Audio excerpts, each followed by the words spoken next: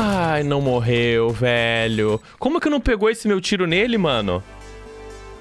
Como que não pegou? Atirei primeiro no peito do cara, mano.